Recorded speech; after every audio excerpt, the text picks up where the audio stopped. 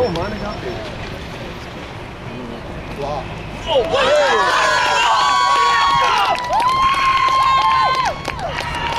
My God!